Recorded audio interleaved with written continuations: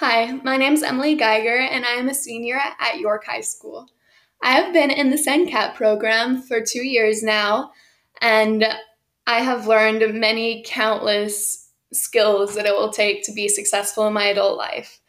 Um, one of these skills would have to be time management, because although this class can be kind of fast moving and fast paced, if you learn how to manage your time wisely and just follow the curriculum that they give you because they give you certain days that things are due, then you'll be fine. The work isn't too hard and it's very important stuff.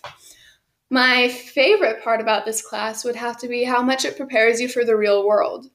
So, for example, we do cover letters and resumes, which you, of course, will use multiple times through your adolescent and adult life. And you also do a live interview. Now, I know that sounds kind of intimidating, it was to me too, but it helps you a lot. So, as a senior, I have been doing scholarships and I have used the skills that I've learned through the SENCAP program many times.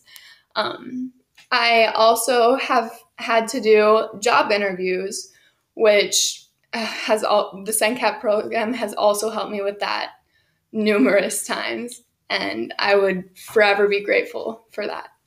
Um, I would recommend this class to anybody who's starting to kind of figure out where their niche is, kind of know what they want to do in life. And even if you don't, you can still take the classes. I didn't know I wanted to be in business until I took a business class through SENCAP.